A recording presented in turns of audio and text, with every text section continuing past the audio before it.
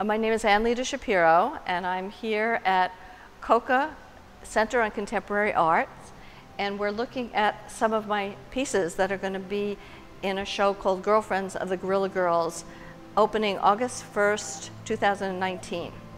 So for me, this is a, a, a real healing experience because I'm exhibiting works that were censored in 1973 at the Whitney Museum.